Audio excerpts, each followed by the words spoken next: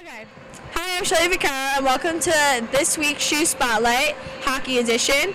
I have with me now senior Sara Hanna from the women's hockey team. And I must say, I'm wearing about five layers of clothing, and she's only wearing two.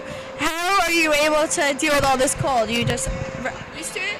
Uh, yeah, well, growing up in Minnesota, I'm kind of used to it by now, but um, especially playing hockey all life, you get used to it. So And how long have you been playing hockey for? I've been playing for 14 years, um, real hockey. I mean, I've been skating my whole life, you know, on the ponds growing up, but 14 years. Yeah, I've never been one to be able to stand on, on the ice, Yeah. but that's impressive. Yeah. So last year you guys had an 18 and 13 winning record. How do you guys hope to hold that winning record for this new and upcoming season? Um, work harder than we did last year. You know, five, 500 is pretty good, but um, we got a pretty young team, so kind of work at that.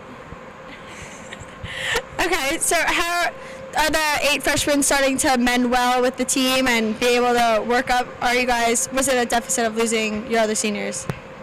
We only lost about we lost three seniors, so it's not that bad. Just kind of getting them used to how we work things around here and like plays and systems and all that. Doesn't sound too bad. Is it upsetting that your last first game is coming up? It's bittersweet. um, it's sad but exciting. You know, ready to kick this season off. You guys are opening your first um, kickoff game here against URI, the Rams. How do you expect that to turn out? They're kind of uh, a gritty team, so just kind of work hard and not get penalties. Well, that's always a good thing to hope for. Well, thank you for joining us on SHU Spotlight. And now we have Chad Filteau. So you open up your season tomorrow and Saturday. How does it feel to open up the season? Uh, it's exciting. We play the uh, first team in the nation, ranked number one, um, UMass Lowell. They're going to be a good team. They're big. They're fast. They obviously won Hockey East last year. It's their banner night. Um, they're trying to break record for students' attendance. So it's going to be exciting. It's going to be a good environment. So it should be a nice, fun, cheering crowd also to play in. Uh, for them, yeah. For us, it'll be a little bit intimidating. I don't think they'll be too uh, fond of us coming into their rink. Well, so you guys open up your season, and you guys have been had your ups and downs lately for the past couple of years. How's the optimism on the team for this upcoming season? It's a new season. Uh, what's in the past is in the past. Uh, we're not too concerned with what happened last year, the years before. Uh, we're more focused on this year, and I think we got a good team. We got a gun or a good group of guys, young group of guys too. But I think everybody's pretty fired up. Everybody's looking forward to it.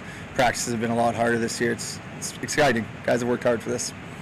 Are you guys excited to play at Webster this up and coming Saturday? Yeah, if we get uh, fans attending, it'll be nice. It's a it's a nice rink. It's it's wonderful. It's a lot of seats, though, so if we can get some fans, it'd be really nice.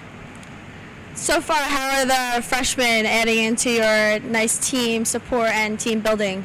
They're great. Uh, all the freshmen bring different characters, bring different things to the ice. They all have skill. Uh, in one respect or another, they're all they're all fun to be around. They're good in the dressing room. Um, there's not one freshman that stands out. They're all just great guys and great on the ice. Well, thank you for joining us and Thanks for tuning in to this week's SHU Spotlight. You can follow us on Twitter at SHU Big Red. And I'm Shelly Vaccaro, and we'll see you next week.